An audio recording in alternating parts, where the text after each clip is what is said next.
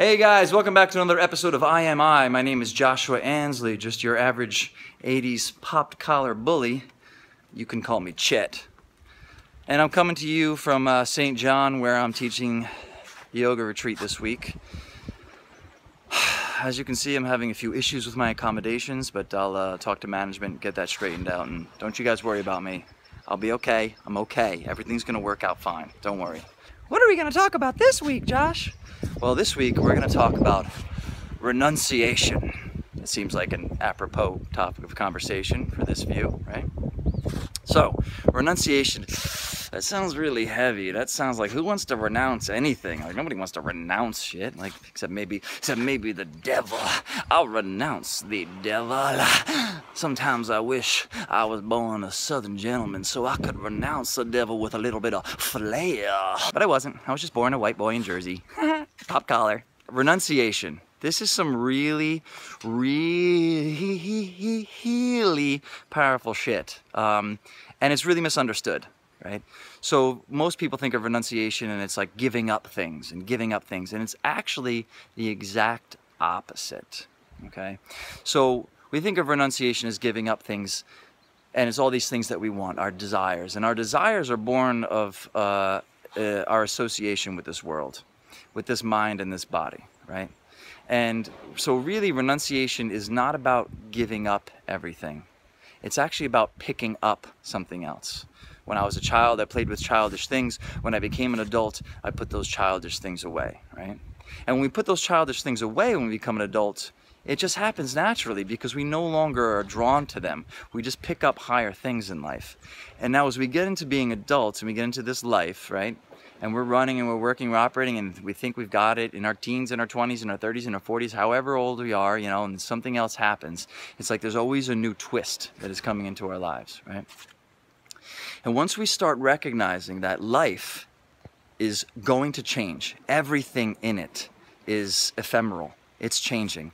Our bodies, our thoughts, our emotions, our relationships, our careers, anything that is of this physical world, and that not just the tangible things, that includes our thoughts and emotions, all of that is ever changing, right?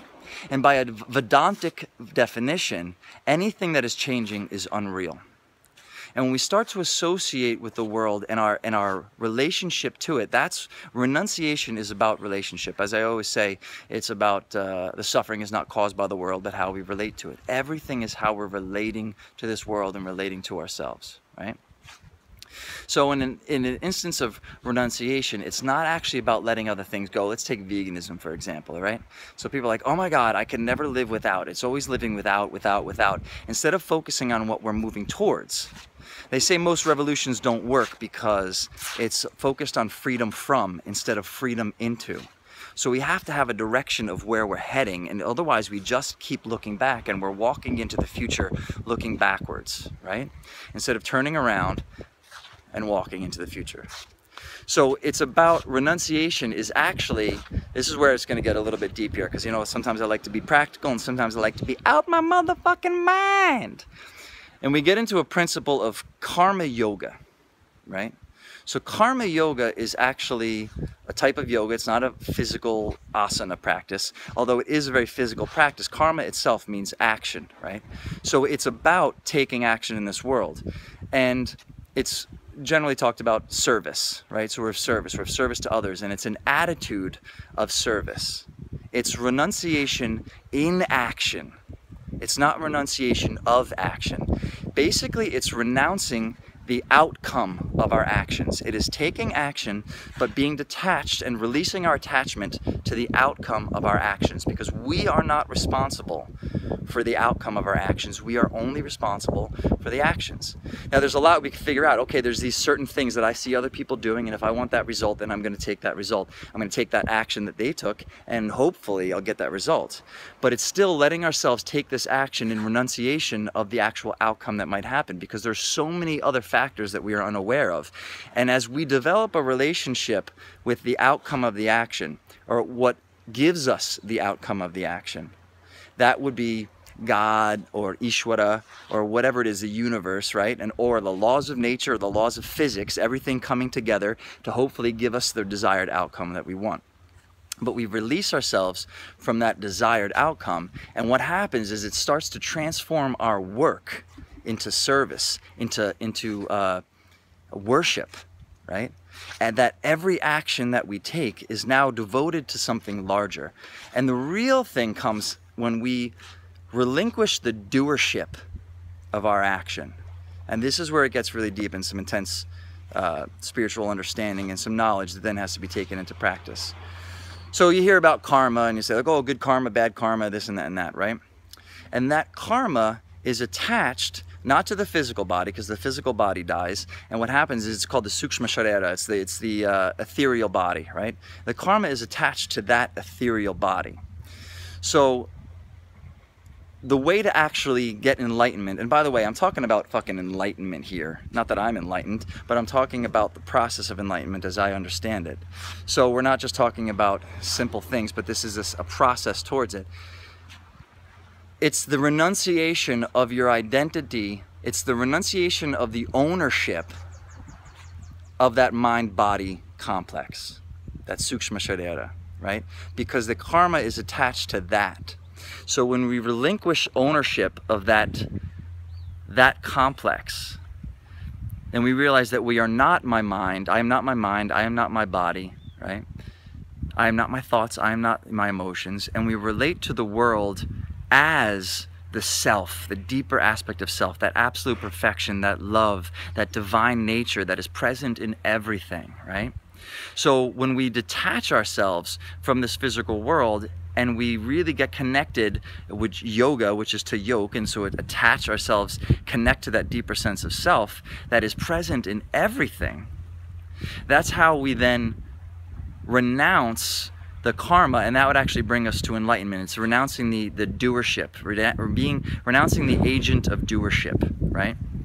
So that's one really deep concept of enlightenment is that we step out of the ownership of this karma, which is attached to that ethereal body, right? So that the thoughts and the minds and emotions and all that stuff is not really who we are. That is just a small physical portion of who we are, right?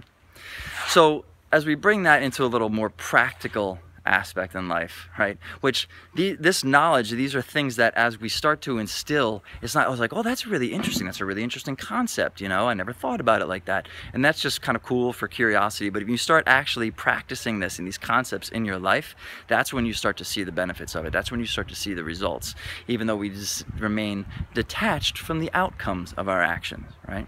So this renunciation in action is actually how we find success in life, right? because we actually release ourselves from the attachment of the outcome.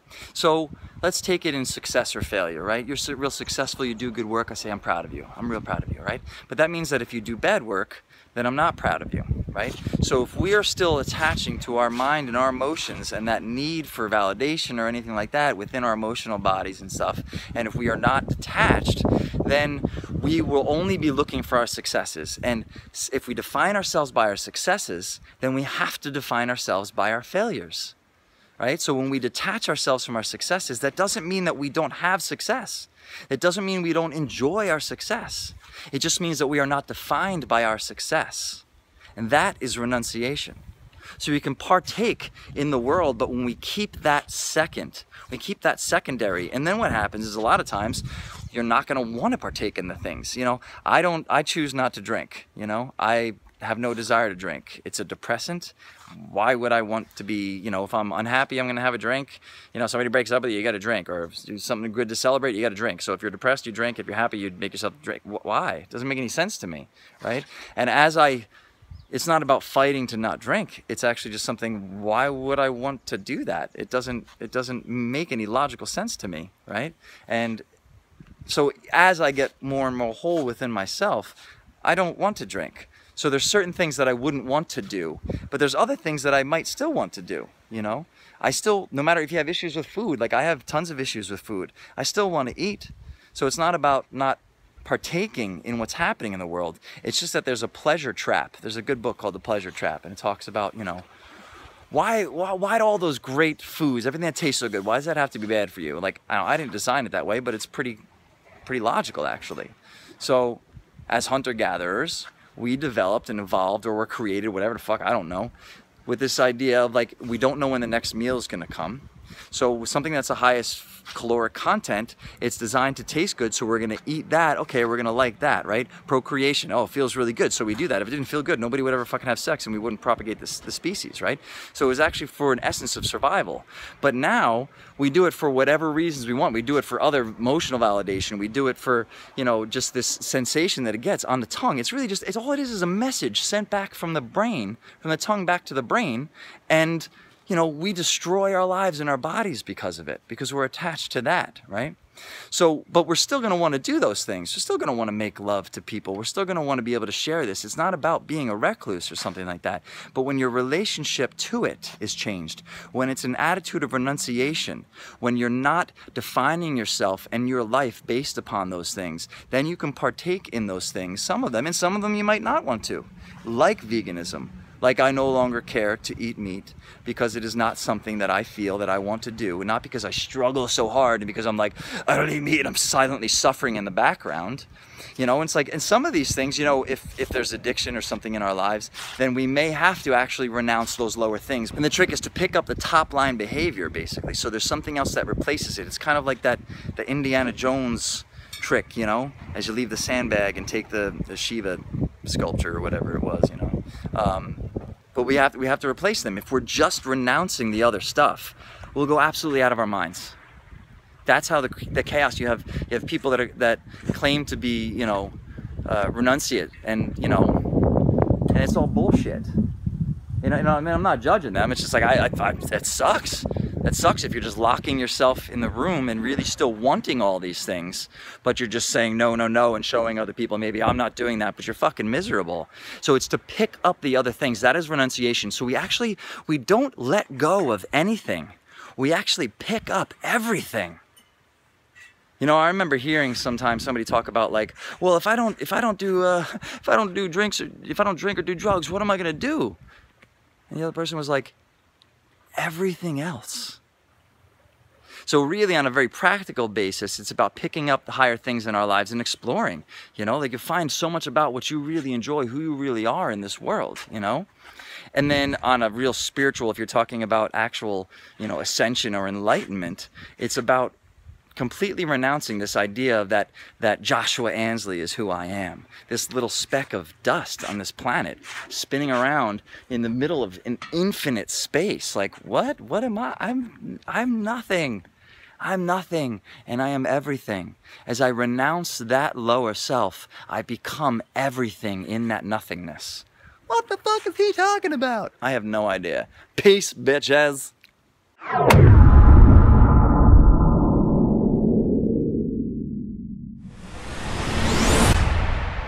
What? Too much?